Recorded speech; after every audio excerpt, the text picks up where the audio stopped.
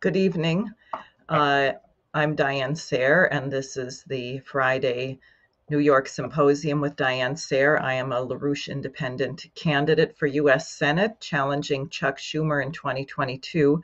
And you just heard uh, soprano Michelle Erin uh, with some of my friends singing the Laudate Dominum from the Mozart uh, Vespers.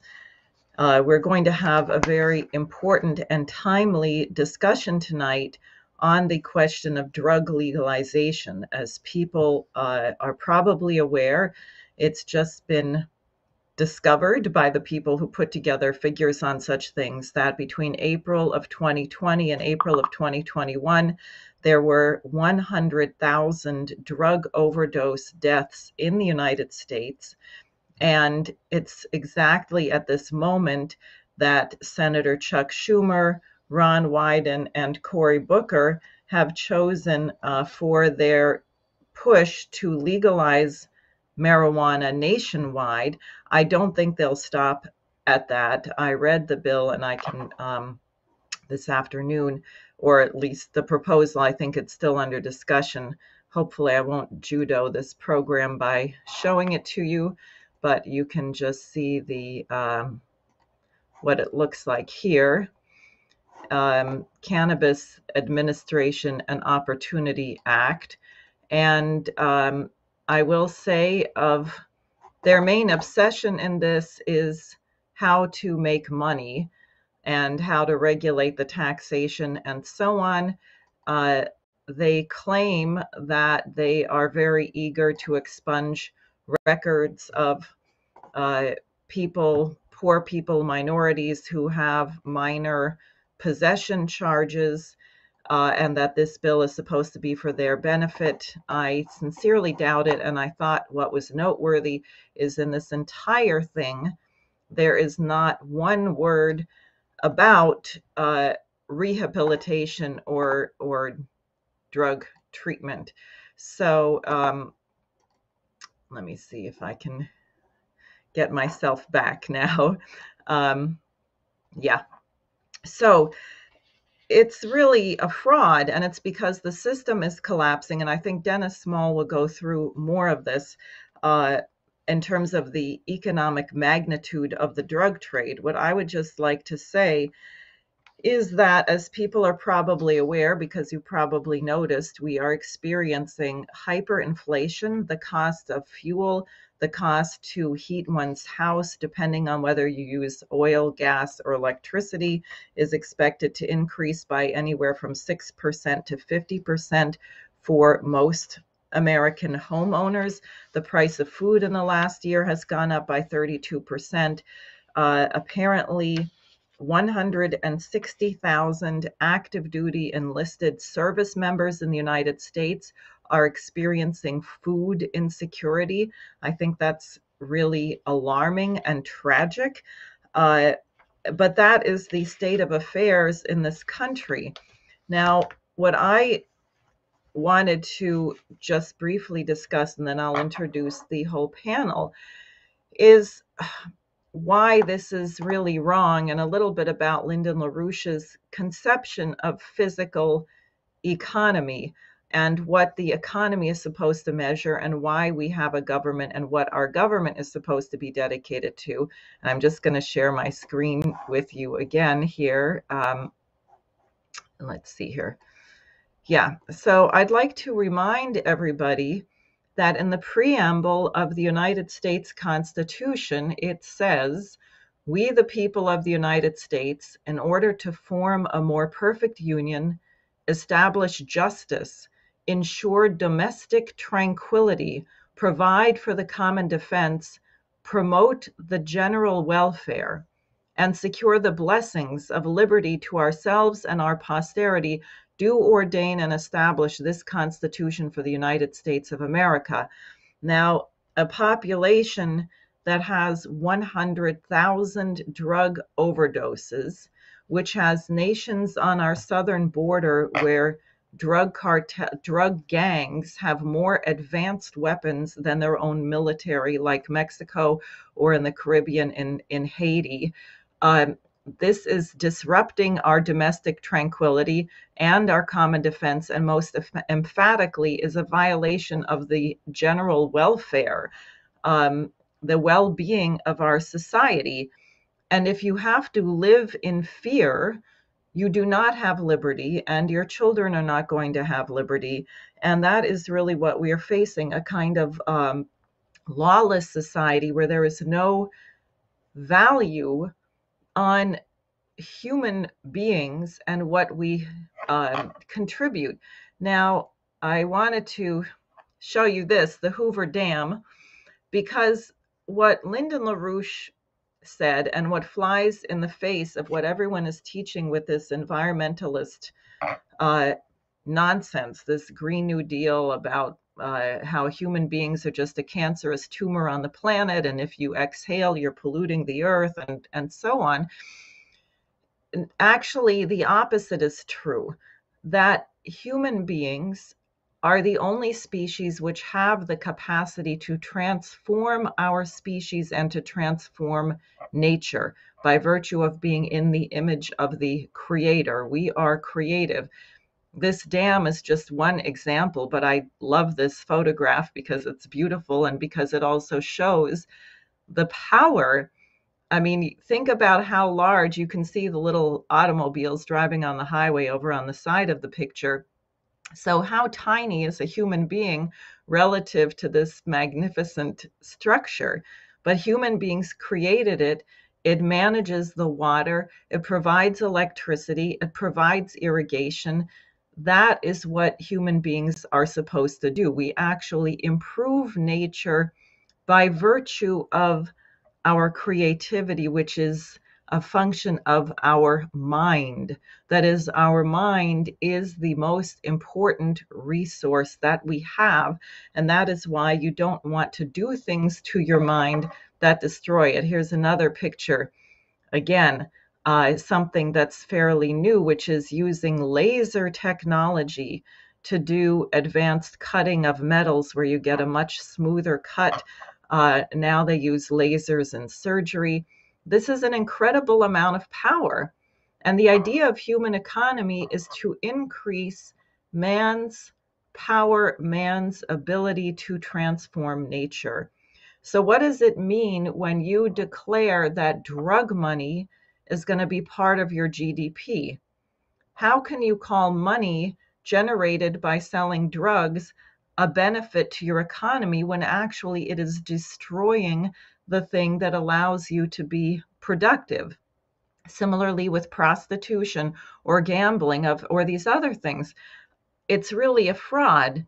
Money has no intrinsic value gaining money from doing things that destroy your ability to be creative and to make life better for yourself and future generations should not be considered economic gain. So, here in New York, uh, we have, they legalized commercial recreational marijuana this past April.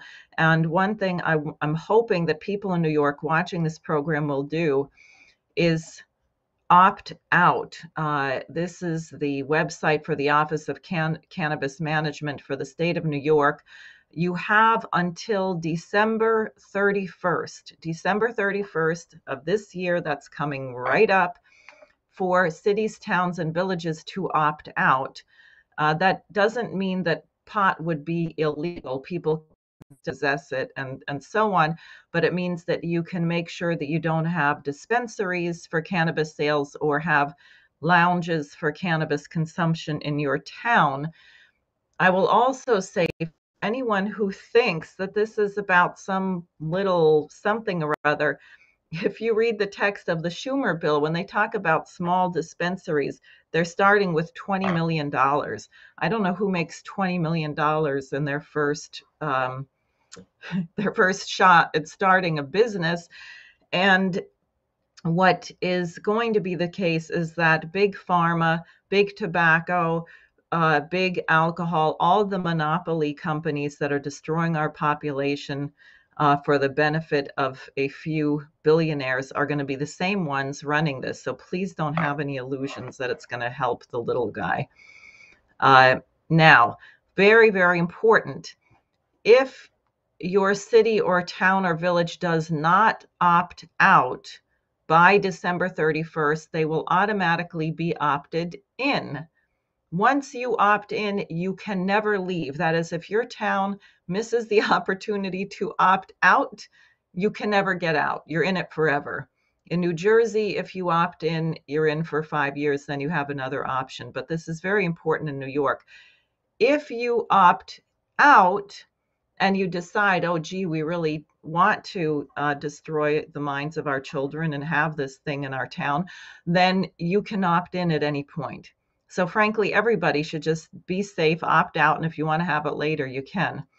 Now, I included this letter, uh, which is, I thought, a very excellent model letter for opting out. Um, I guess it's the, the municipality or town of Mahopac, New York, and uh, it's signed by various uh, people in the town urging uh, that the town opt out. Uh, and they say, as you are aware, this became law in March, uh, etc. It is the opinion of the Putney, Putnam County Legislators Health, Social, Educational, Environmental Committee that since the new Cannabis Control Board is not yet operational, and its regulations have not even be, begun to be discussed. You realize that they don't even know what the rules and regulations of this body are yet, and they want people to opt in. Um, it is prudent for all villages, towns, and cities in New York to opt out until more is known. And I'll just cite a few things that they cite on the second page of their letter. For your consideration below are some of the research findings from communities in other states that have marijuana dispensaries. Youth aged 13 to 17 living close to the dispensaries and exposed to marijuana advertising were more likely to report their intention to use marijuana. Young adults living within a four mile radius of a dispensary are more likely to use marijuana and more likely to use it heavily and experience more problems related to its use home prices within a 0.36, so about a third of a mile area of a new dispensary fall by 3 to 4% on average. In addition, while states that have retail marijuana dispensaries have higher rates of marijuana impaired driving, hospitalizations for marijuana poisonings, and hospitalizations for marijuana dependence, it's unclear how close the proximity to dispensaries impacts these consequences and a community's decision to opt out sends a message that the community does not endorse getting high for fun and that patients and additional data are needed as opposed to experimenting with their families. So uh, that is just one example of a letter. Um, there we go, of a letter uh, on on how to opt out. So I would really urge everybody you all live somewhere uh, to get your town, village, municipality uh, to pass a resolution opting out of this and to do it immediately. We only have until December 31st. And if you don't do it by that time, you will never be allowed to do that. Now, uh, Jose, if you could just put everyone up on the screen, I'd like to introduce all of our speakers. And let me just say as always, participation in the SARE for Senate Friday Symposium does not constitute endorsement of my candidacy or any candidacy, and it is not always the case, although I'm sure that I will agree with much of what is said by my speakers this evening. I may not agree with everything that is said, and we may disagree, and that's fine. There is far too little opportunity in today's society for people to have public disagreements and debates and talk things through. So I'll just tell you who's here.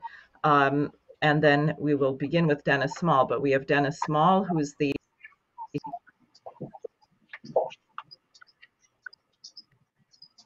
board executive. We have Dee Rathbone, who's the chairman of the National Institute Listen Antalcy and who has been a time collaborator of LaRouche and Associates of Lyndon LaRouche on the war on drugs.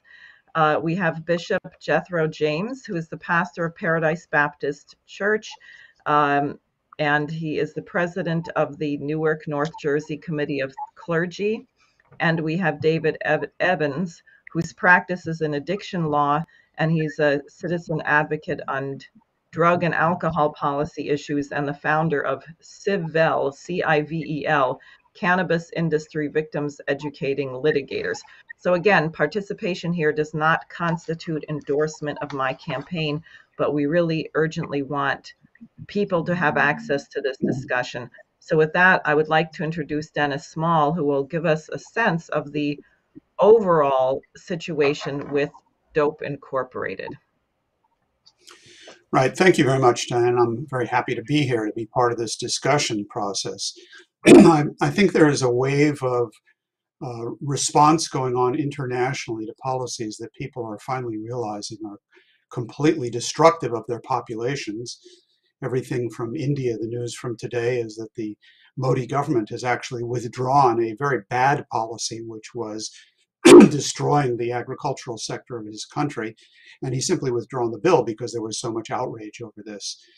Uh, I think we have a situation in the United States and in New York State in particular where uh, moving off such initiatives, such as the dispensary issue that Diane just raised, it is absolutely possible for the state of New York to deliver the famous shot heard round the world.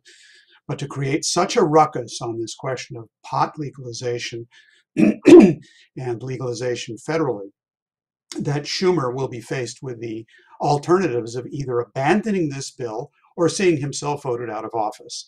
And I would enjoy very much to watch him try to make that decision between those two options. The reason I say this is because the, the drug situation is out of control. And once people get a sense of this and realize it and where it's coming from, um, I think there is going to be quite an explosion about this. There have been many lies about pot in particular, but drugs in general. I can't possibly go through all of them and dispense with them tonight, but among them are the idea that it's not harmful, the idea that if you could just lower the price enough, you would get it out of the hands of criminals and people wouldn't, you know, use it so much and so on and so forth. That we've tried the war on drugs and failed, so you can't do it that way. They're all lies. And I think that the best way to approach this is not going after each argument in particular, but let's look at the big picture. The big picture, as Lyndon LaRouche uh, presented in a book he commissioned back in the 1970s called Dope Inc. Uh, and I was uh, fortunate enough to be part of some of the doing some of the research for that along with other co-authors. The picture on drugs that we presented there was that the drug trade was being run from the top by an international single unified cartel financially organized around the laundering of hundreds of billions of drug dollars. And we traced this back historically to the Opium Wars, we traced it forward, and we demonstrated that that was in fact the case, that this was run centrally. It's not a bunch of individual guys on a corner or peasants in a country or middlemen shipping drugs. It is run from the top by the major banks of Wall Street and the City of London. And only occasionally this has come out into the public view, such as, for example, in the famous Levin hearings before the Senate, where it was demonstrated and shown that none other than HSBC Bank was caught with their hand in the cookie jar for some $60 billion in laundering of uh, Sinaloa cartel money, knowing exactly what they were doing. And they got the uh, slap on the wrist after they pull their hand out of the cookie jar. And I can guarantee you that both hands are back in the cookie jar, and it's far more than $60 billion. Let me show you how big this really is. If I could have the first slide, Jose. This is calculations which we have just completed a couple of weeks ago with a new study on dope in the 21st century. This looks at using official statistics from uh, the State Department and from the UN's Office of uh, uh, Drug and, and, Criminal Activity, putting to, together a picture of the total amount of physical production of each of these four drug categories marijuana, opiates, cocaine, and amphetamine type synthetics. That's what ATS stands for. And what you can then do is calculate what the sale uh, value of this is for the street price of each of these drugs and get an idea of the potential revenue generated per year for Dope Incorporated by this drug trade. Now, back when we first published the book, it was three, four hundred billion dollars a year. In the year 2000, our estimates were 547 billion dollars per year. The last study that we did was statistics for 2007, and it was $818 billion a year. Our best estimate, using the same methodology that we use throughout, is that today the total yearly take of drug money is $1.5 trillion. Now, you'll notice if you look at this that the lion's share, over 50%, is marijuana. And opiates and cocaine and amphetamine type synthetics are actually a distant second and third and fourth. So marijuana is not a minor player in this. It's actually the uh, the heart and soul of the drug trade because it's also the way that people get addicted and pulled in on many other drugs as well, um, including now by lacing a lot of the marijuana with things like fentanyl and other drugs. But even if that were not done and it were pure, it does lead in exactly the way it always has because it is run from the top by a single unified cartel. Now, let me just run through a couple of other graphs. The next one shows you what's going on with opium.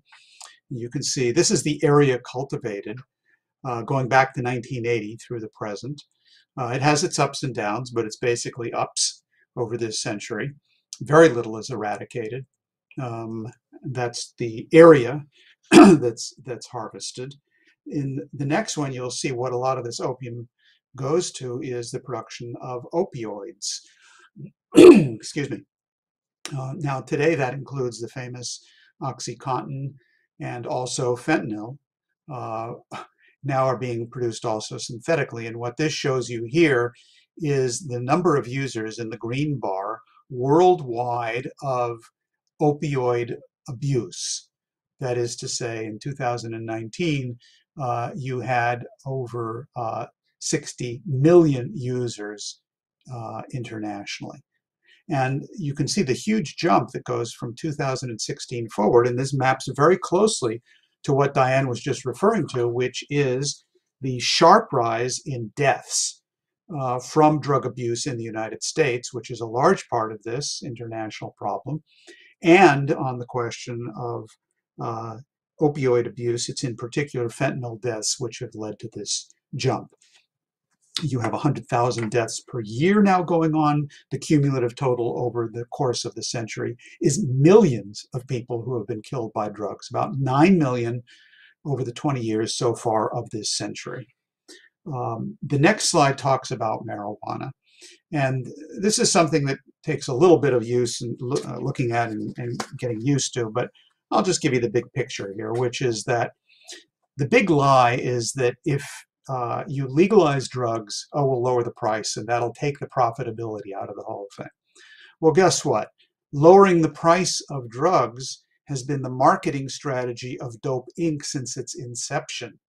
They have been deliberately lowering the price of marijuana, cocaine, and heroin over decades for the purpose of expanding the market.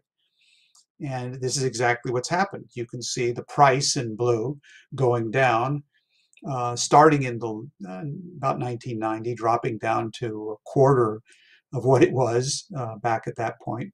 And the use, the total quantity used rising, as you can see in the red, uh, the red curve here. I've associated this as it in fact is associated uh, in the real world with the policy of decriminalization, medical use of marijuana, and recreational use of marijuana that was implemented in the United States. Decriminalization began in 1973 with Oregon, and you can see what began to happen with the, uh, in particular, when the medical use of marijuana began with California First in 1996, within two decades, the majority of US states had adopted the policy, and look at what happened with consumption. Now, with recreational drugs that begins in 2012, uh, you have a situation which is zooming out of control in terms of overall consumption of marijuana, especially in the United States, not only, but especially. The 40 out of 50 states in the United States now have some form of decrim, medical or recreational use of marijuana. And the key thing that the Schumer bill is designed to do, as Diane pointed out, is to legalize the flow of the drug dollars. That's what they say. Quote from the draft bill. State compliant cannabis businesses will finally be treated like other businesses and allowed access to essential financial services like bank accounts and loans.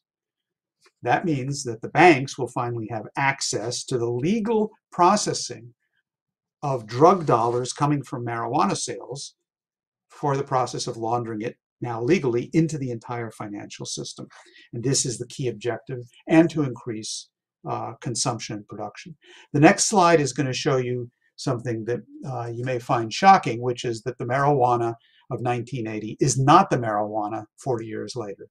It is four to five times more potent. The THC content on average today has risen from around 4%, which it was before, to 15%, 3 and 4% to 15%. It's four to five times higher.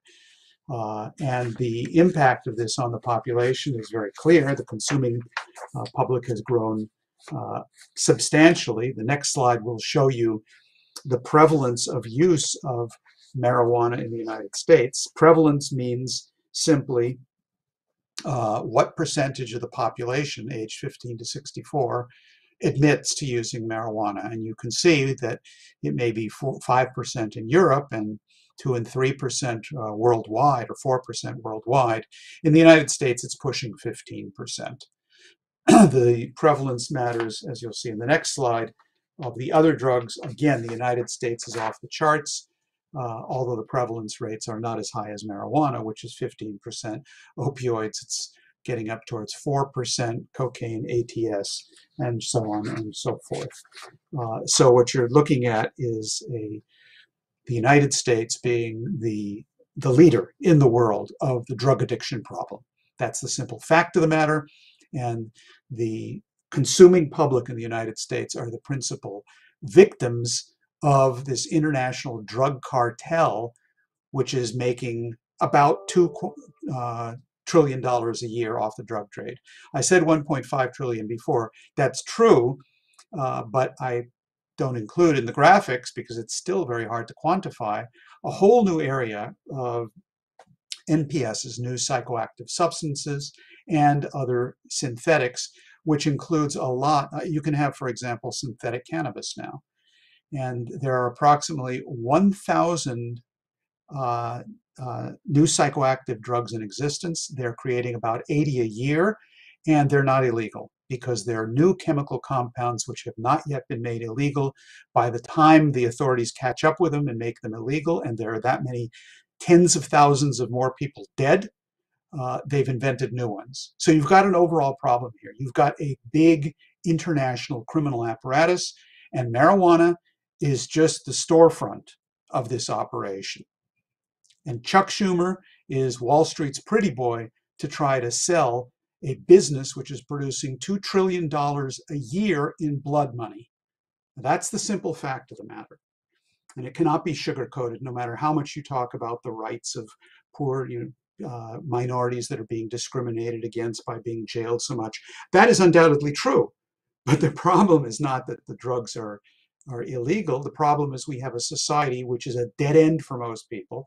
And on the consumer side, besides convincing people that there's no risk, which is a lie, you then have the active promotion of drugs and entire layers of the society who have been denied a future and are therefore engaging in a form of either rapid suicide, like killing themselves that day, or slow suicide by taking drugs. And these are the so called deaths of despair, which we know have swept the country. Let me conclude with one graphic, which in one sense is the most telling. And that is the factors affecting the prevalence of US opioid abuse. And this could apply to any drug category. But they did a simple calculation. This is, this is uh, um, from, from official statistics by surveys that were run, what correlates with opioid abuse. Well, it's not whether you're white, Hispanic, or black. That's all about the same. It's not if you're in high school, college, or not. But It is whether you have a job or not. It's the economy, stupid. It's the fact that you have no job, no future, you have nothing to look forward to, you cannot provide for your family, and the only way out, uh, people are led to believe, is by abusing opioids, and that's where the deaths come from. And that's that's by far and away, it's twice the prevalence of every other area.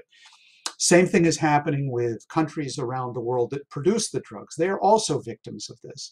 There are millions of people in countries around the world that are virtual slaves of the drug trade because they have no future, they have no possibility of, of, of uh, viable uh, job, and they're driven into the only thing available. The solution on all of this is exactly what Diane was talking about at the beginning. We have to turn the entire world financial system and economic system around the way Lyndon LaRouche always talked about. And there now is a possibility to do this with the United States joining with China's Belt and Road Initiative, which, by the way, today had its eighth anniversaries of its announcement uh, by Xi Jinping. That will create the circumstances in which the Hoover Dams become just a small component of the kinds of modern breakthroughs which are possible, where people have jobs, Third world countries become developing countries. You fill them with infrastructure projects. You wipe out the drug trade by providing alternatives as well as all of the necessary police uh, and seizures and other measures. And in the United States, you, you deal with this by providing people with a future as well as prosecuting very aggressively drug crimes. And that has to start at the top. It has to start with throwing in jail the drug bankers that are pulling in, they're raking in $2 trillion a year of drug money. Throw some of them in jail, and that will help reverse the inequities of minorities that are now sitting in jail. That would be my proposal on that front. I'll leave it at that, and the rest can come up in the discussion period. Great, thanks very much. I do just have to disagree with one thing that you said, which is you called Schumer a pretty boy. I, I wouldn't describe him that way, but at any rate, thank either, you very either much. In a, either in aesthetic uh, uh, features or his age, either, right? right. So now we will hear from David Evans, um, addiction law practice. Go ahead and welcome. Nice to have you. Yeah, thanks. Uh, it's nice to be here. Um, I want to just start off by uh, getting rid of a premise, uh, and the premise is, is that there are uh, thousands of minority members languishing in jail, uh, either local or state or federal prisons, uh, because of possession of personal use of marijuana. That's absolutely untrue. And uh, it is something that the marijuana industry puts out. I've done the research. Uh, and uh, we have a paper published on it looking at all the data over a period of years. I've also been a criminal defense attorney in New Jersey since 1974. I was a public defender in Newark. I have never known anybody to go to jail in New Jersey for possession of small amounts of marijuana. Uh, if you are caught with a small amount of marijuana, you can get what's called a conditional discharge, Basically, if you stay out of trouble for six months, the court will administratively drop the charge against you. Uh, if you get a record, you can get your record expunged by going on a state website. Uh, you don't even need a lawyer to do this. So this is a myth that has gotten a lot of attention and a lot of people believe it, but it's just simply not true. Um, so CIVEL is the Cannabis Industry Victims Educating Litigators. We're us, we do not have any trust in the government to deal with the drug problem. And we feel that the best way to go after the, in this case, the marijuana industry, is through litigation. We've just seen an example with the Rittenhouse case where, despite all kinds of public pressures and lobbying and money and media reports, uh, when it came down to a jury making a decision, they were able to make a decision and not subject to a lot of that pressure. Whether you agree with the decision or not, uh, it is uh, a place where um, people supposedly come into court. Uh, they can be heard, where evidence can be heard, and where the little guy, and I've mostly represented plaintiffs, gets their day in court and has the power of the court to make the other side give over uh, information. Uh, so what we are doing is we are promoting uh, lawsuits against the marijuana industry in several areas. First of all, medical marijuana.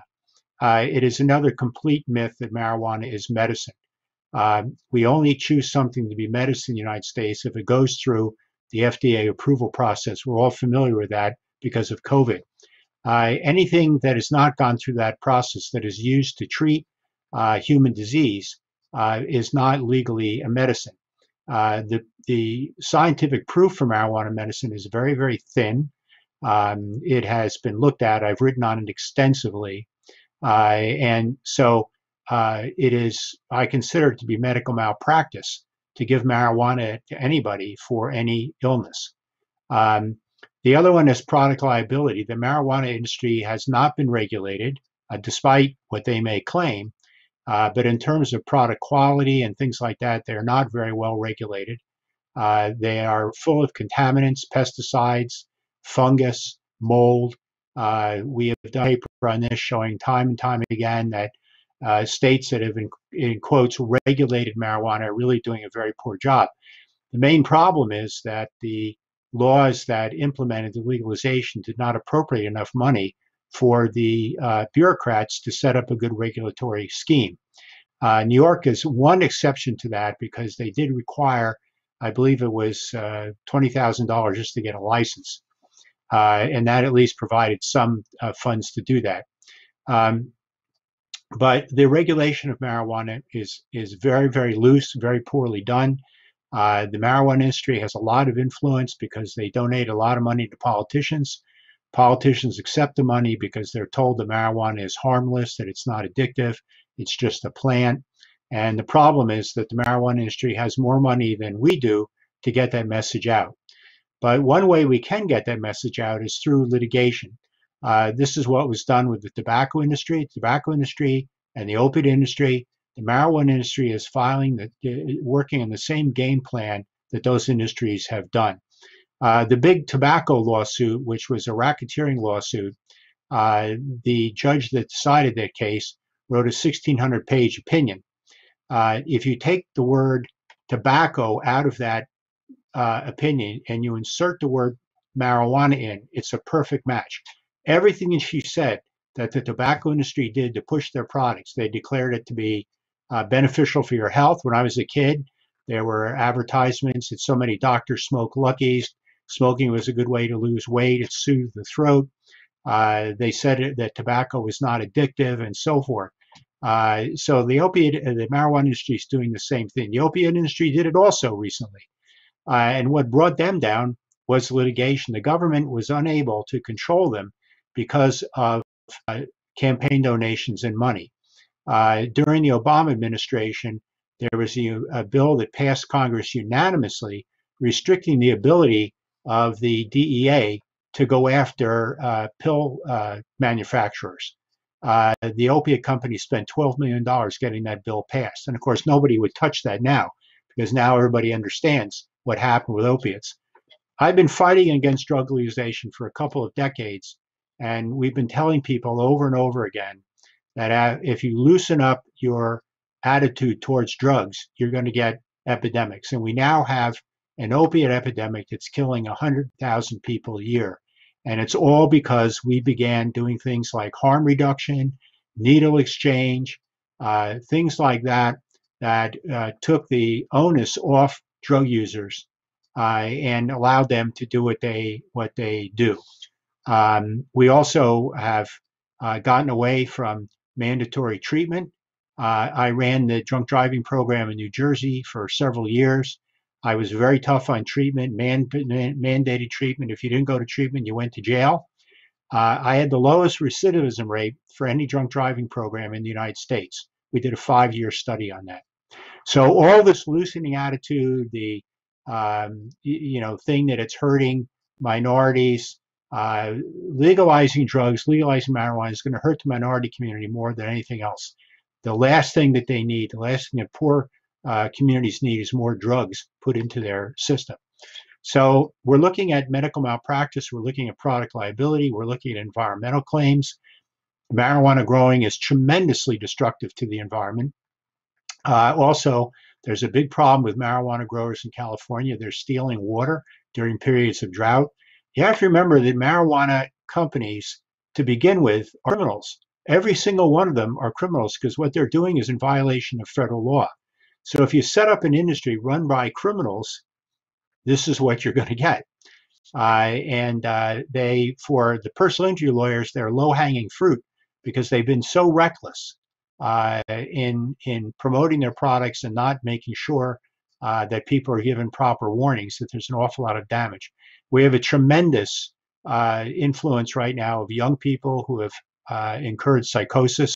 I was just on the phone with mothers in Colorado who now want to sue the industry because their children have had their brains damaged by this high potency marijuana. Um, so there's uh, medical malpractice, personal injury. There is uh, RICO, the racketeering federal lawsuits. You can go after them on that basis. Environmental lawsuits, also server liability. I mean, we're well aware that uh, a, a bar can't serve somebody who's visibly intoxicated. They have not been applying that law to marijuana stores. People can go in there and get stoned out of their minds uh, and go and drive a car. And we've seen an uptick in drug driving and fatalities due to marijuana in the states that have legalized uh, legalized marijuana. Uh, the other big thing is with birth defects and problems with pregnancy. Um, they uh, the marijuana in Colorado. Uh, there was a study there um, that 66% of them we're recommending marijuana to pregnant women, which is uh, something that can be very harmful to the unborn child. The American College of Gynecologists has recommended against this, that anybody thinking about being pregnant uh, or getting involved in pregnancy, and this includes the males because it can damage your sperm, um, uh, should not get involved in, in marijuana. So what we are doing is that we are educating the public. We're publishing legal articles to attorneys. We are in touch with the various marijuana victim organizations around the United States, uh, and we are now starting to get lawsuits against the marijuana industry. There were over a thousand lawsuits against uh, the opiate industry, uh, and we hope in time uh, that we're going to have a similar process with uh, with the uh, marijuana. as soon as attorneys start getting substantial awards for suicides caused by marijuana, mental illness caused by marijuana, birth defects caused by marijuana, uh, the legal community is going to start paying attention. So you can go on our website. You can contact us through our website. It's CIVEL, C-I-V-E-L dot org. Uh, that has more information and some other information about marijuana. It's CIVEL, C-I-V-E-L dot org. And also a good source of information is Americans Against Legalizing Marijuana.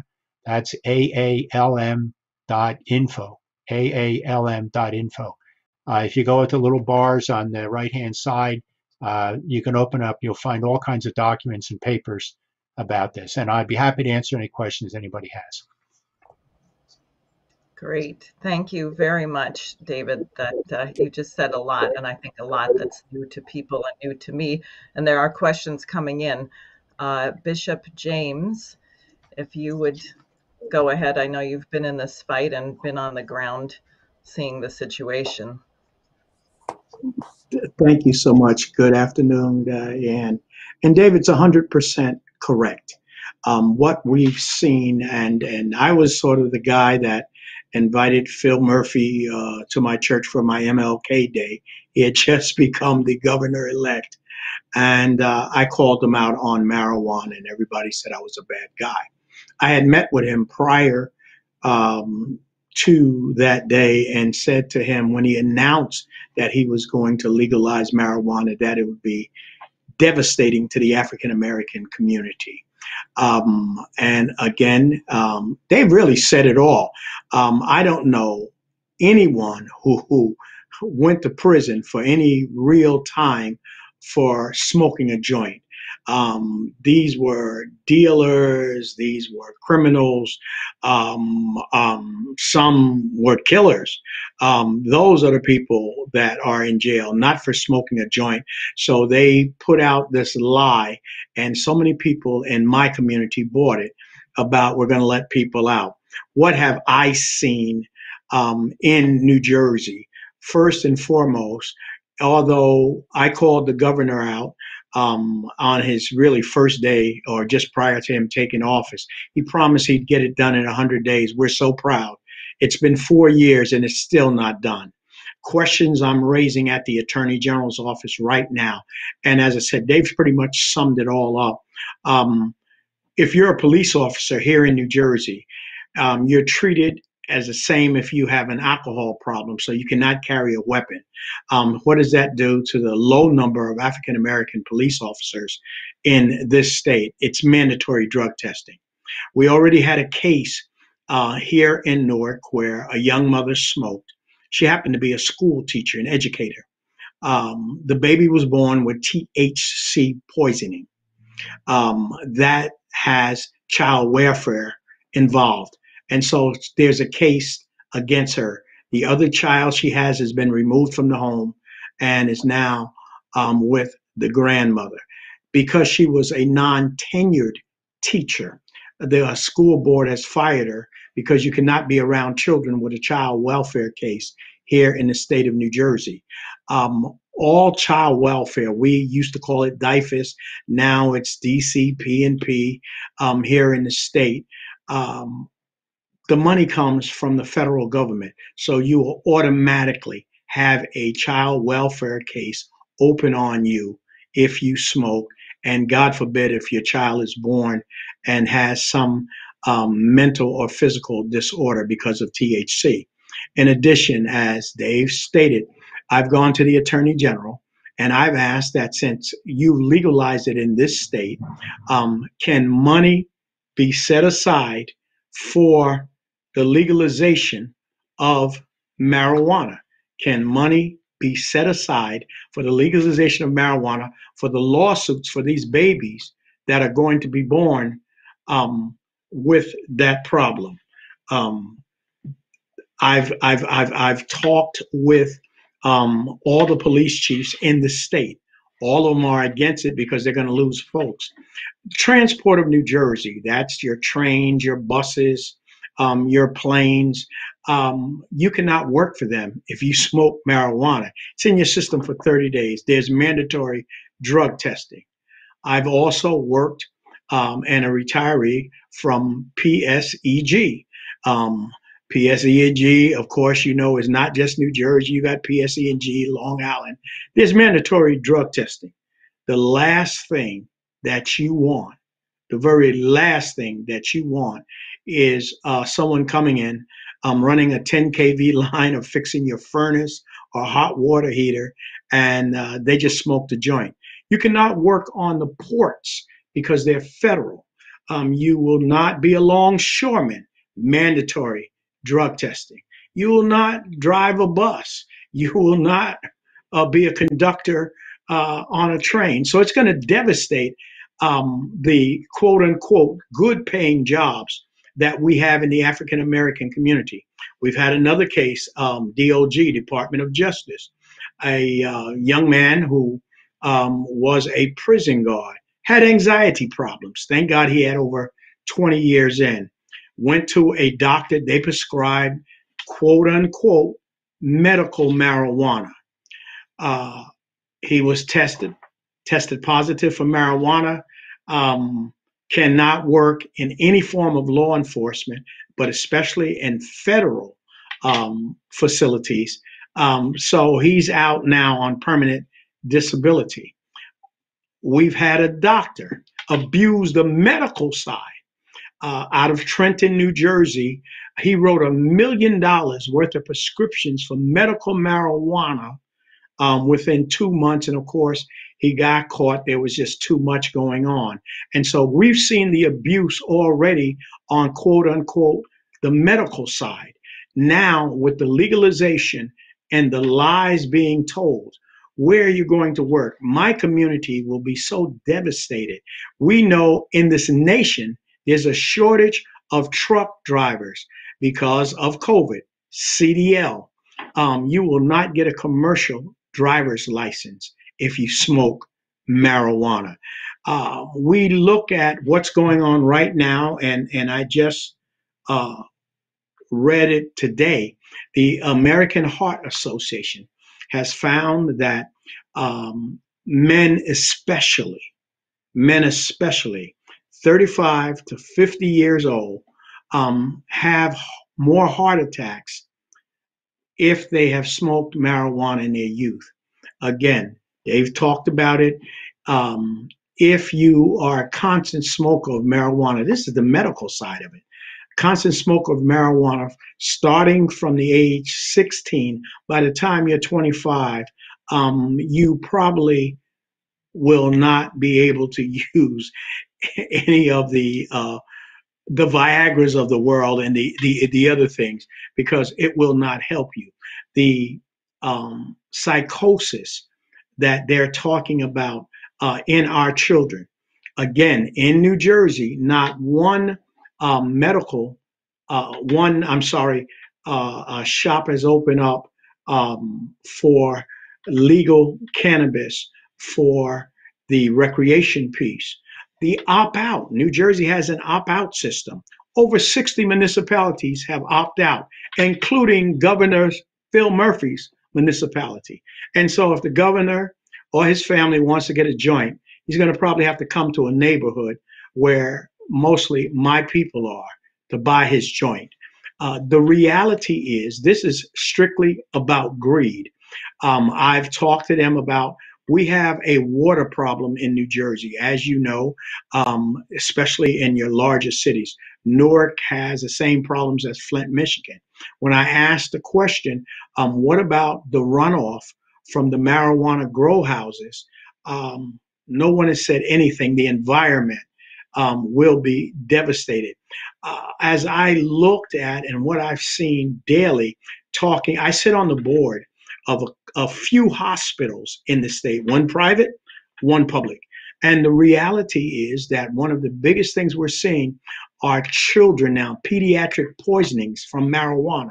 Then the question comes for the edibles in the state of New Jersey, um, there is nothing dealing with the edibles. One of the things that I feared, um, and it happened in a very well to do Bergen County community, that some of the kids brought some edibles to school and they all wound up in one of the uh, richer areas of New Jersey. They wound up at a hospital in Ridgewood, New Jersey. Um, the edibles are geared and packaged to children.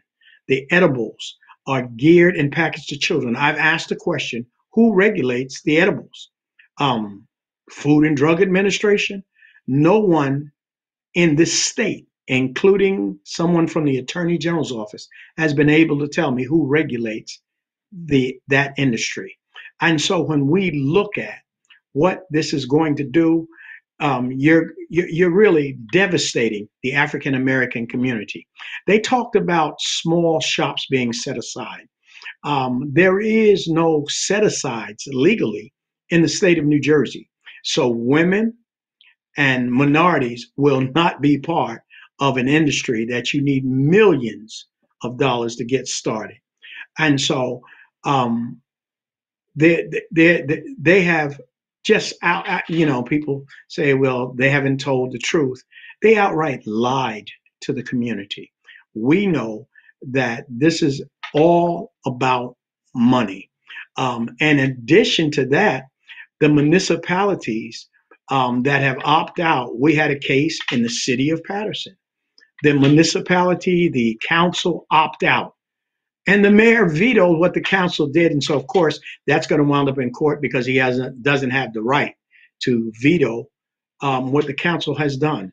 And so we're seeing 70% increase in children that are poisoned by what's not even legal yet in the state, edibles. We had just this Halloween, children were given edibles as part of their trick or treating thank God that the marijuana was caught and the child didn't eat it. But as you probably know, that just three months ago, a three year old got a hold of some edible jelly beans and he has been in a coma from that day to this.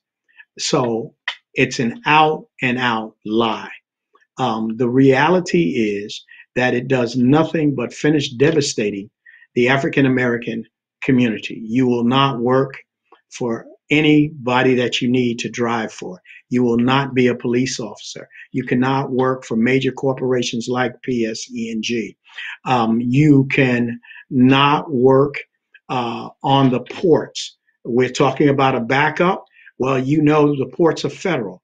If you have, if you receive food stamps, you can no longer receive any federal uh, subsidies. You cannot um, get rental assistance, and I could go on and on and on just because of conviction.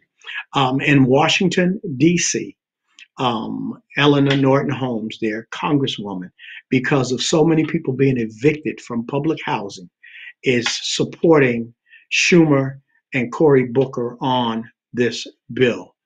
Um, Cory has never, has never cared about the people of New Jersey. I know Cory when he came to New Jersey. I know him from his council. I know him from when he was the mayor of Newark. Cory has one of the best spin machines there are. But caring about the African American community or any community, Cory does not care. And, and that's a fact. Until we understand that a drug that causes heart attack, a drug in the African American community that will cause brain damage, a drug that will have you losing uh, employment, um, a drug that will have you not being able to educate, a drug that will bring the black community more illegal drugs because folks are walking around in New Jersey right now and that not one store is open, but the black market is booming. Um, we cannot afford Chuck Schumer and Cory Booker. And like was said earlier, I would love to be there um, when somebody says, Guess what? And then ask them the question Would you do this to your grandchildren? So that's my my two cents. Anyone that wants to get in touch with me, I'm real easy to find. Um, you can Google me, Bishop Jethro James, Paradise Baptist Church. And I'm crazy enough because I've been around and done this nationally. You can call me on my cell phone, 973 941 3150. Thank you and God bless. Thank you. Thank you very much. Now, do we have Mr. Rathbone? I'm here. Oh, very good. I'm So as you may know, I, Suzanne sent me some of your slides, or Jose may have them as well if you want us to show anything, but uh, perhaps you would like to say a few words about what you've heard or anything else on this matter. yes. Thanks a lot for having me on. Uh, I really appreciate the information that's coming out now from you people because there's a dearth of it. It's it's being suppressed everywhere else. Nobody's talking about it. The media is scared to death to say anything negative about marijuana because all their uh, associates will condemn them and criticize them. But uh, I've I got into this thing very early as a parent in in a high school near Dulles Airport that my kids were going to. Uh, I was reading the school newspaper and, and being a little alarmed by some of the goofy stuff that I was seeing, like feature articles on what's the best drugs available in the school. And at that time, I was coming from a perspective of a person who had graduated from high school when there was no such thing as drugs in the in the schools, and I had the impression that uh, the safety that had prevailed then was still continuing over in my kids' schools. Wrong. They they had uh, riots there where teachers were assaulted, kids beating each other up, and and they had to shut the schools down. I had shut that school down for two or three days to try to straighten things out. They had a, a, a hearing on what could have caused all this, and the hearing said drugs were being used and sold and fought over in the schools, and they were prevalent everywhere. Well, as a parent, when when we heard this, uh, a couple other parents, we decided, well, this is an easy thing to fix. Uh, the drugs are illegal. We can just put the bad guys in jail. But who will let the kids be put in jail? Nobody. The parents don't want them. They'll defend their kids no matter how bad they are right till the end because that's the parental love that's in us. Uh, but anyway, we, uh, we decided uh, to try to do something. But the first people we were able to contact uh, on any kind of a formal basis was the LaRouche people.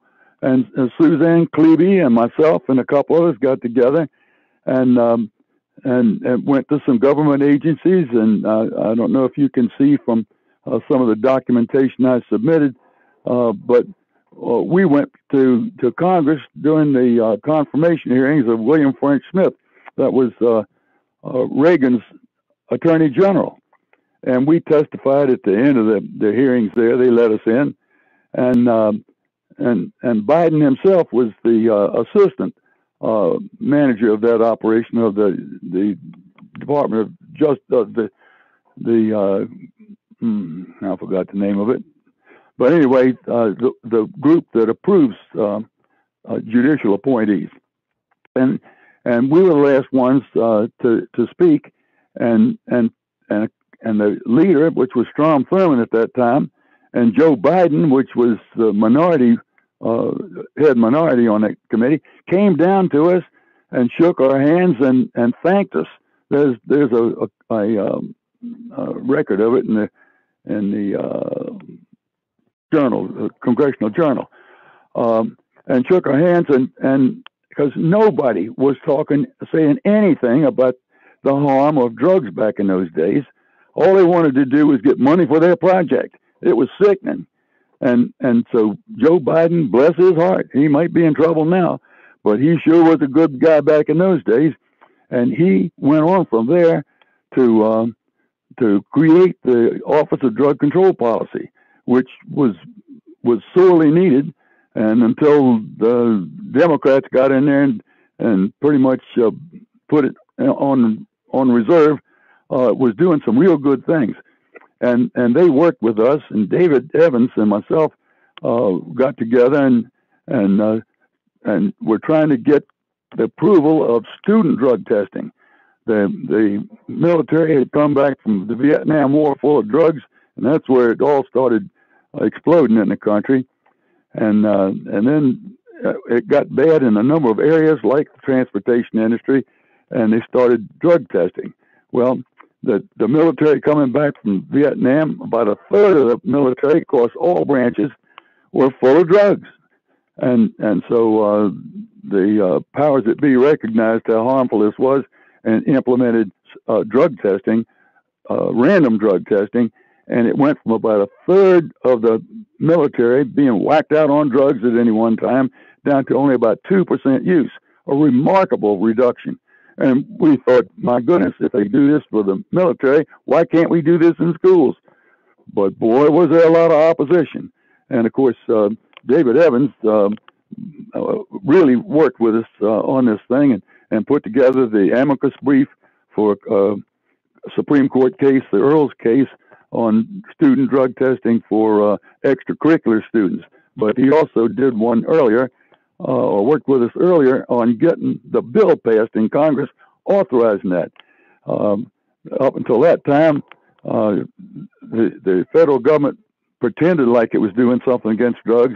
Said, "Well, you can talk to them about it, and and you can have some uh, um, maybe some uh, sniffer uh, uh, dogs in there." But when it came time to actually doing something that would uh, definitively uh, uh, determine if a kid's in trouble.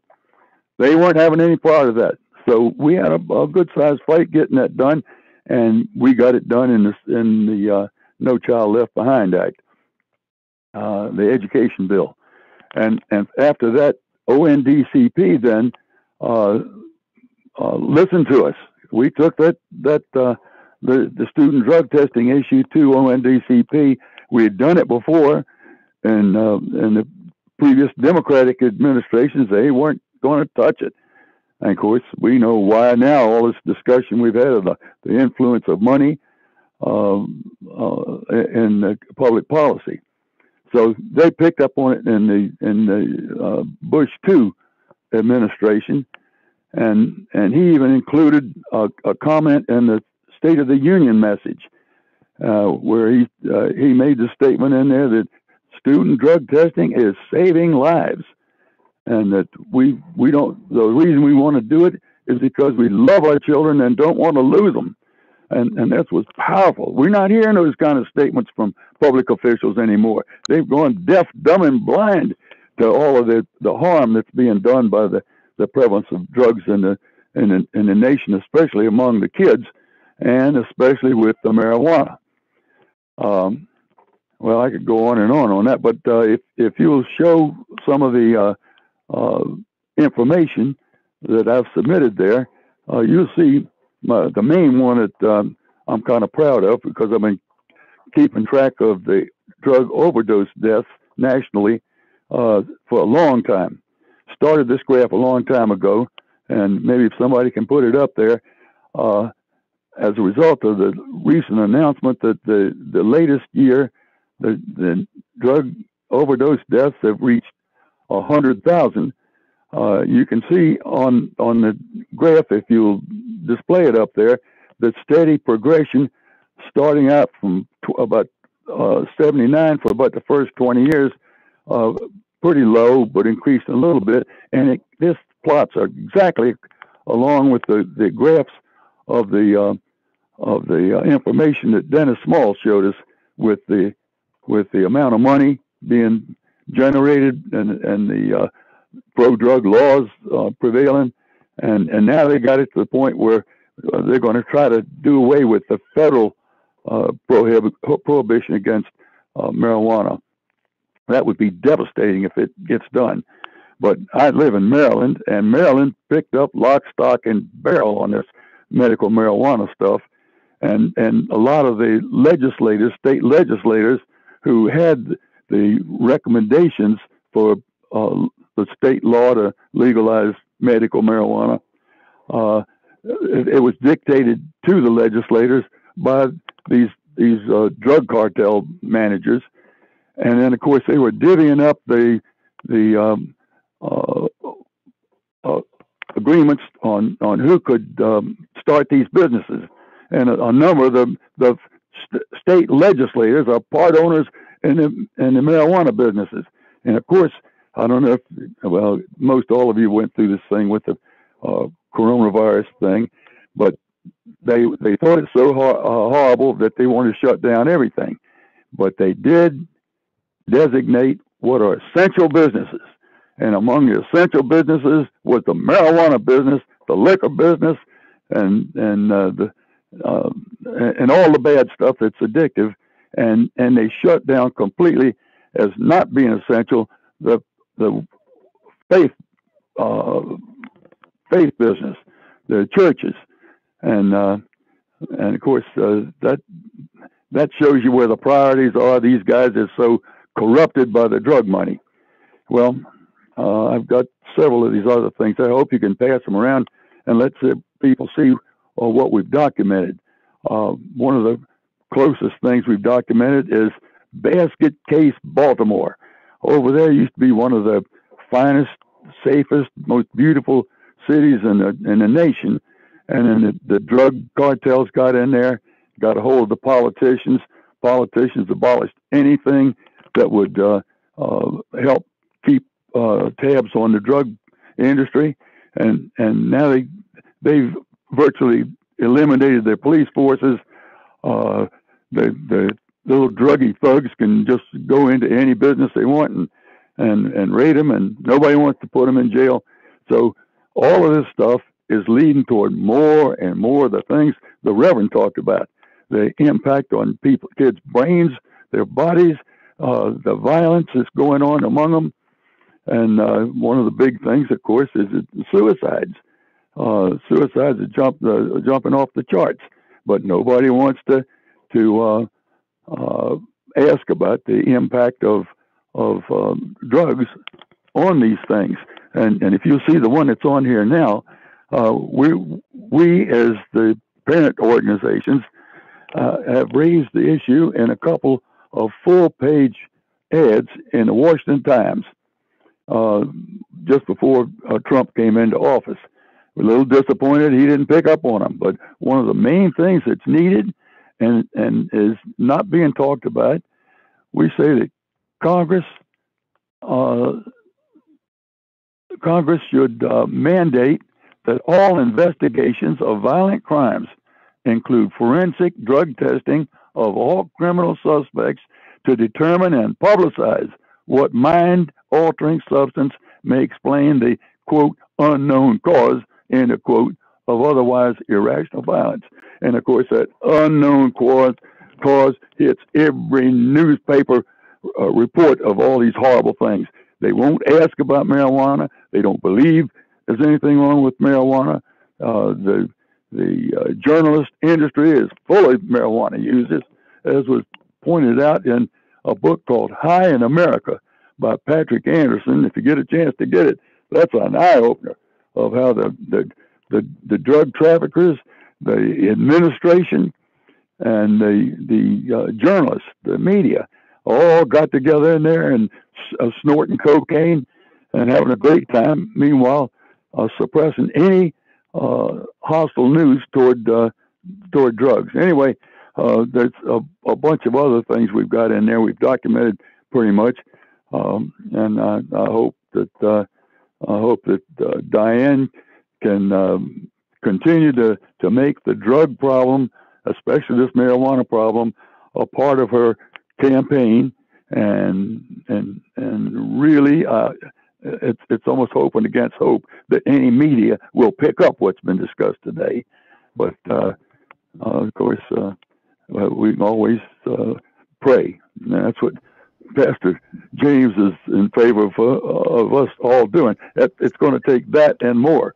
And of course, we got the ultimate uh, solution to this thing, and it's like is pointed out in the book Dope Incorporated. The the opium wars, where the only way China finally got rid of the opium wars after two centuries was to put a bullet back in the head of uh, all the drug users and the drug pushers, and it went away. And today, China is probably uh, one of the least uh, drug affected uh, countries in the world. And that's all documented in Dope Incorporated. So, anyway, thanks a lot, guys, and uh, I hope it does some good. Well, thank you very much. Thank you for everybody uh, who's been here. There's been several questions coming in. Some of them are related uh, on the question of the prisons.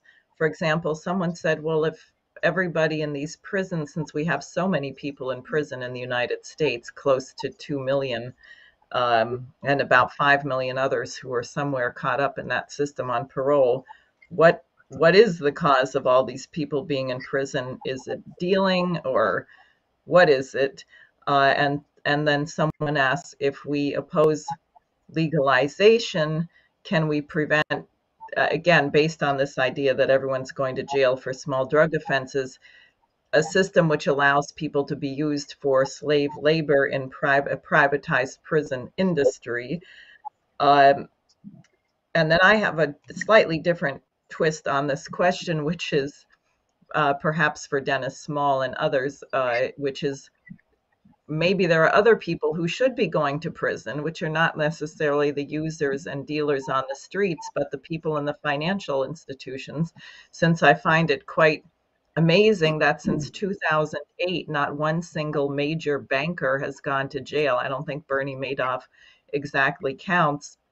And we know when banks like HSBC get caught red handed laundering billions and billions of dollars of drug money, they don't even name an individual. There's not even a person indicted for it. It's as if somehow the institution is a robot just functioning on autopilot.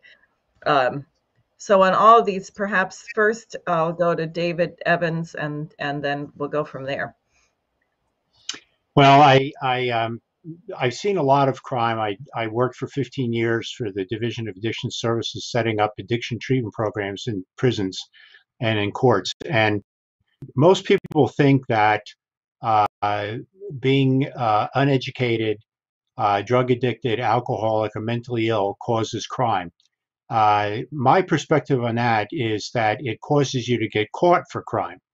uh, the reason that there's so many uh, uneducated, drug addicted, mentally ill people in prison is because they're not very effective criminals.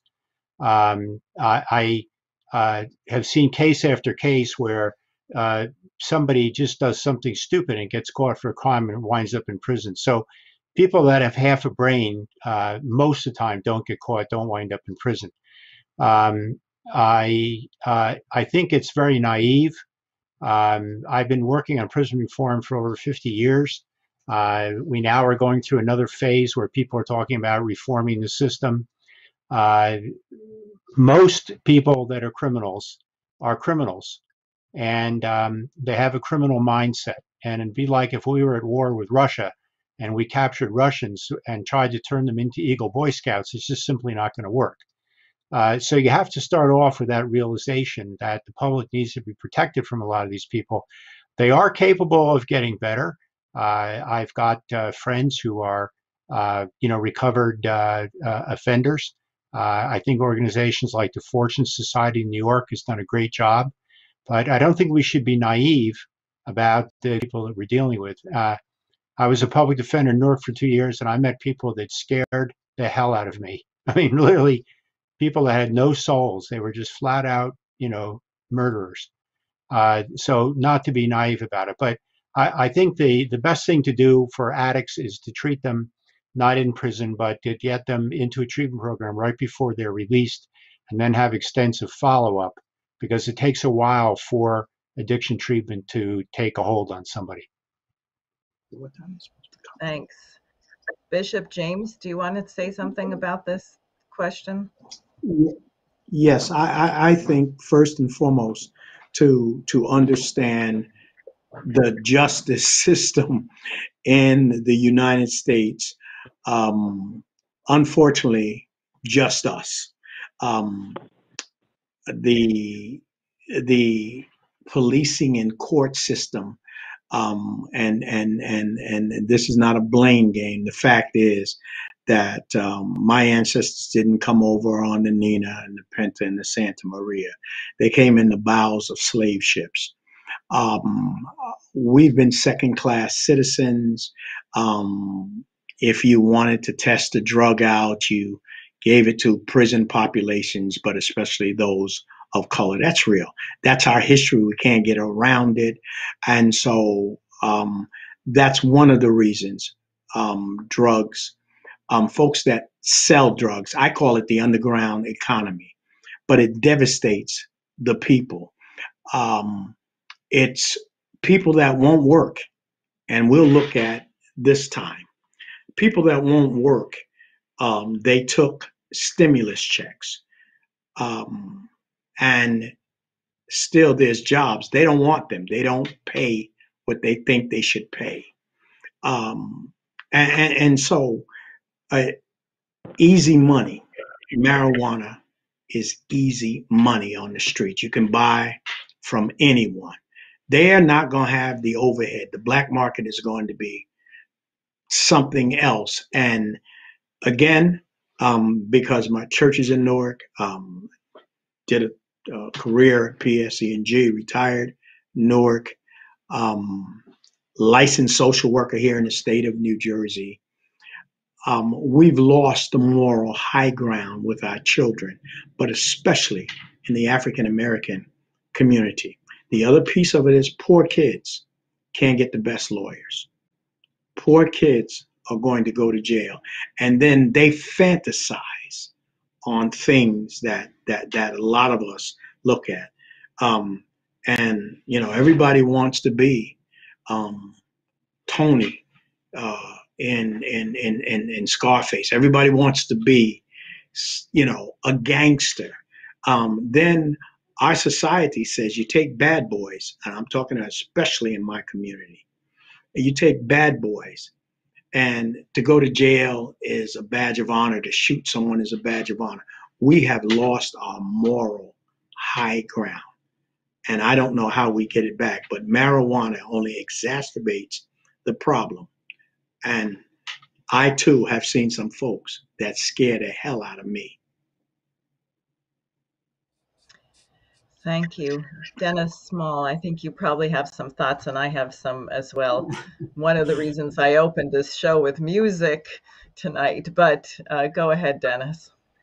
Yeah, sure. Well, first of all, I want to thank the other fellow panelists. I've learned quite a bit, and I think a lot of these initiatives are, are very productive. Um, perhaps one of the things that distinguishes me from my fellow panelists is that I've actually been in jail. I've not visited them. I actually spent over two years in jail as a political prisoner along with Lyndon LaRouche. I was one of the people who was unjustly condemned for crimes I never committed, as was Mr. LaRouche, and spent some time in what for me was fortunately a low security uh, federal penitentiary. Not so some of my colleagues who went to much nastier jails. But I can tell you one thing I didn't see a single top banker or drug runner in jail. I mean, bankers, the ones who are actually behind this. I saw a lot of people of the sort that have been described who undoubtedly committed some sort of crime or other, but they're just the, the they're just the pawns in the game. They're the throwaways. They're the people who are being used by a well-coordinated, well-oiled machine run from the top by the people in the three-piece suits. And they launder, I mean, just follow the money.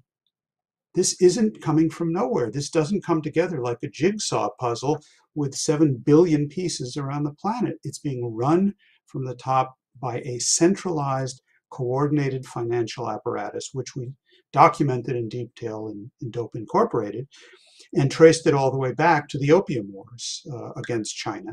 Same banks, same financial centers, same unregulated financial processes, uh, run out of the city of London and now with a significant participation of, of, uh, of Wall Street banks as well. And everything falls into place around that. So if you're going to address this thing, uh, and we must, I think that all of the work that's being done is good, but it's none of it is going to actually function or work unless we stop the financial system which is producing this and which actually depends on drug money, is addicted to drug money like a heroin addict is addicted to smack. That is what the international financial system is. You're talking about a speculative bubble of close to two quadrillion dollars, and the drug trade is a cool two trillion per year it's only a small part of the total, but it is highly liquid cash and it's crucial and has been a key component of keeping this whole financial system afloat. That's not just uh, the LaRouche organization saying this. We said it first, but it has been repeated by Maria Antonio Costa of the head of the UNODC, where he talked about how banks would not have gotten out of the 2008 crash had it not been for drug money that was that was pumped through their veins to keep them going. So they're the ones that are actually behind this whole thing. And I think that it's crucial, and I would uh, uh, you know urge my fellow panelists to you know put their their their experience and their their uh, really good ideas to work in trying to figure out this aspect as well is how do we actually go after these people i think a, a very important part of this say just two things more one is the glass-steagall banking legislation which was passed under Roosevelt in 1933, and it provided for a strict separation of the banks. On the one hand, your commercial, productive lending, which was backed by the government and the FDIC and so on and so forth. And on the other side, you had your investment banking that could engage in all of the speculative activity it wanted, except there was an absolute wall between the two. No government support for any of the speculative banking, which is, of course, where the drug trade comes in. That was uh, uh, a nail was put in that coffin in 1999, and that's also been a crucial part of the tremendous growth of the of the drug of the drug economy. Get back to Glass-Steagall, you will put the entire system through bankruptcy reorganization, and you'll actually that's probably the single most effective thing you could do to uh, to put a stop to the financial flows behind the drug trade, which is what's moving it all. One final thought. I think even more significant than the financial side, as crucial as that is, is the cultural warfare aspect of this thing, which is what we're all beginning to address here, and which does have to do with the classical music that was played at the beginning. The, the opium war against China was waged as cultural warfare to destroy a nation, to enslave it to mind altering drugs that destroyed the creative capability of the population. The opium war is being waged against the population of the United States and Europe today is exactly the same thing. Besides everything else that drugs do to your body and the physical addiction, it destroys your mind. It's designed precisely to make it impossible for the mind of human beings to engage in what is most distinctly human, which is creative, synthetic thinking that puts together new cause and effect explanations for phenomena we see around us. What drugs do, starting with marijuana and all the way up the line, is that it shatters your, your mind's ability to put together a picture that's coherent. And this is a whole topic that would obviously require many, many hours of discussion. But I did want to put that on the table because I think that the solution on the cultural side lies in, lies in encouraging those activities precisely that encourage that creative capability. And, and classical music is certainly one of them. Thanks. What I wanted to say is that, I mean, there was a huge operation in the 1960s in the United States under the name of the Congress for Cultural Freedom, which actually started at the right at the end or during World War II, but then uh, was run by the CIA, major banks, Hollywood, the news media.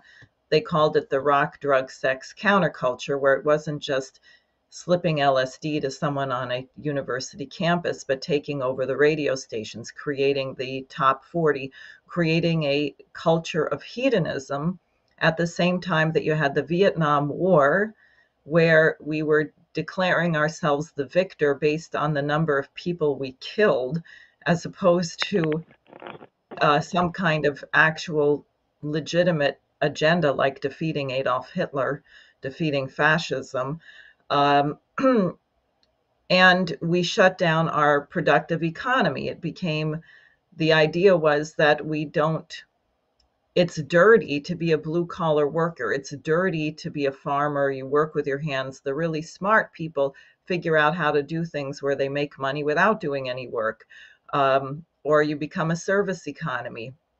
And and between the assassinations of the Kennedys, Martin Luther King, Malcolm X, the Vietnam War, and this cultural onslaught, the optimism of the United States the progress that had occurred in the civil rights movement really uh, came to a grinding halt and got um, consumed by a kind of pessimism and small mindedness where people came to the conclusion that all I can really do is worry about myself. Act locally, be small, think about yourself. Uh, and it's obviously very destructive and there's no great happiness in doing that as there was happiness in figuring out how to get to the moon figuring out how to cure diseases figuring out how to build massive infrastructure projects that solve major problems for humanity. Um, and that's what we have to get back to. And one of the things that i find as a candidate talking to people is that uh, people have been you know the saying been down so long it looks like up to me. What people think they want is merely momentary survival i would be so relieved if i could just get by without getting evicted or if i could just pay my next month's mortgage on time as opposed to imagining what our cities and towns actually should look like uh, that we should be planning new cities, we should be building new cities in the United States, uh, that we should be collaborating with China on a few projects. Uh, I have in mind, particularly Haiti, the development of Haiti, which would require them to recognize China instead of Taiwan, and also perhaps Puerto Rico, which is really part of the United States in some way, but it's treated as if it's, you know, incapable of governing itself. It has this financial control board type situation, but you have incredible things um, there, like the telescope, which has now been damaged. There's a science legacy there. Haiti uh, had a constitution that was largely inspired by uh, Alexander Hamilton. They were going to be another a, a brother republic uh, in this part of the world. So there's enormous potential, and the drugs are destroying also entire nations. Look at Haiti right now with the drug gangs basically running the place. It's ungovernable. On China, what I wanted to say is, um, you know, we had a conversation in the the chorus that I I founded. Um, many of our accompanists are from um, China, and I was asking one of them after the rehearsal about whether they had a drug problem in China, which is a you know, and he just said, uh, "No, are you kidding?" Uh, one, there's a very conscious idea that they suffered this humiliation for 100 years between the opium wars, the Japanese occupation, etc., and it's beneath their dignity to go back. He said if somebody is even photographed, if they're out of the country and they're smoking a joint or something, some rock star, whatever, they come back to China, they are completely ostracized. No one wants to be seen with them. It's a complete cultural taboo. If you are doing that yourself, it's seen as sort of a destruction of society. And I think if the United States had the approach that we were going to be building the major infrastructure we needed, that the whole nation were actually engaged in figuring out how to establish a manned colony on Mars, 30 years from now, we were going to develop fusion. I think you might have a similar cultural rejection of destroying your mind because you would recognize that the talents of every single person were actually needed to accomplish these tasks. Again, back to this question of the promotion of the general welfare. Uh, in the meantime, I think it is absolutely the case that we need to put some of these big money guys in jail. Uh, so, those are some of my thoughts, and I wanted to hear what else Dee has on his mind. You asking about me? Yes, go ahead. Yes, I am. Well, to me, uh, the biggest opportunity we have is to to uh, protect the kids within the schools.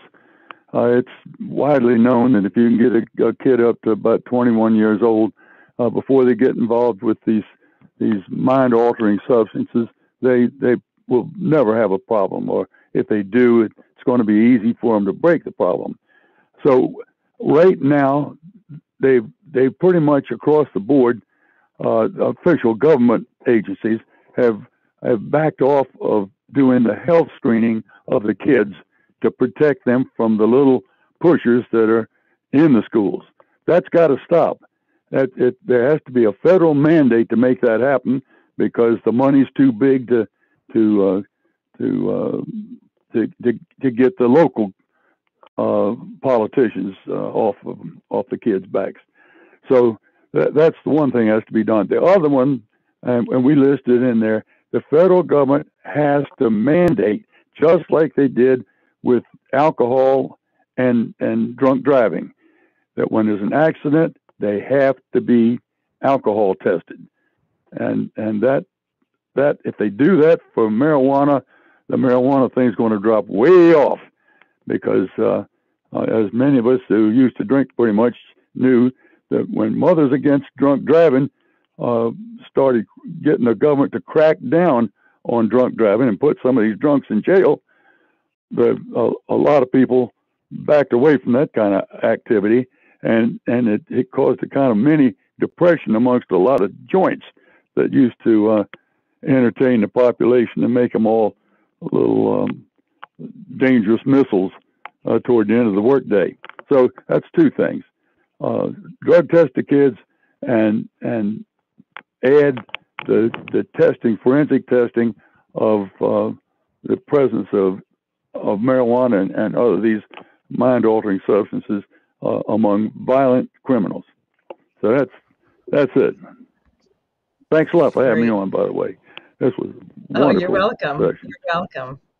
Now, so I think it's about time to wrap up. So I just want to ask everybody if there's something you think urgently should have been said that we haven't said or raised, you can raise your hand or um, yell. Yes, David. Uh, yeah, one thing, um, uh, in New Jersey, we put on a campaign after marijuana was legalized to get towns to opt out, and we contacted all the uh, most of the the cities and municipalities there. Seventy one percent opted out in New Jersey, and I know there's a campaign now to do that in New York. So uh, I would urge you to do that. We we got most of the state decided to opt out in New Jersey. Great, thank you. We absolutely should do that. Yes, Bishop James. Also, the um, the lie that's being told that folks are going to um, get out of prison. Um, they need to understand that if you've been charged uh, under the federal law as a drug dealer, you're not getting out. You're going to do the time. And as was said, that no one for smoking a joint went to prison. And so that's the lie being told. Um, and, and, and the last thing, the last thing, for every mother, every mother, and this is going to go uh, across the spectrum social, economic, um, ethnicity in the state of New Jersey, you're going to be tested for a federal controlled substance. If you come back dirty, it's a good possibility that you're going to have a child welfare case and your employer has to be notified. Thank you. Thank you very much. Dennis Small, yes. We should unfreeze the funds of the Afghanistan Central Bank, which our Treasury Department has illegally and very injudiciously frozen. Uh, if you want to push a country which today produces 80% of the world's opium crop back into the waiting arms of the international drug trade, or the claws rather than arms, the simplest way to do that is to make sure that the country has absolutely no other access to funds than the drug trade. The policy of the United States government, the policy of the EU towards Afghanistan at this point is totally uh, crazy and criminal. We are starving that country to death by denying them access to their own financial funds, whatever we think of their government. And, you know, that's, that's not the point. It's the money of Afghanistan. And they are being denied access to banking and financial transactions, which are baseline requirements for pulling back 22 million people who are at the edge of starvation, of dying of starvation this year. If you want to create the world center of the drug problem, uh, even more than it has been so far, just continue with the policy we have today. We should absolutely immediately unfreeze those funds. Thank you. Thank you very much. I'd really like to thank all of you here for uh, participating in this. And I would uh, myself like to encourage everybody, both on the panel and people listening, to visit the schillerinstitute.com or yeah, dot .com website. Uh, there was a conference of the Schiller Institute this past weekend, which was quite extraordinary, with four panels on these matters, saying that all of the moral forces of mankind have to be mobilized to deal with the crisis. The fourth panel on Sunday, which I moderated, dealt with the question of culture and education. Uh, it was quite powerful.